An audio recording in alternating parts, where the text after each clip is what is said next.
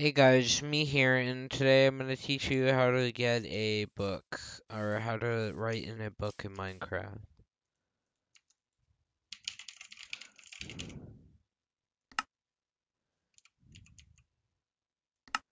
And that's how you write a book in Minecraft.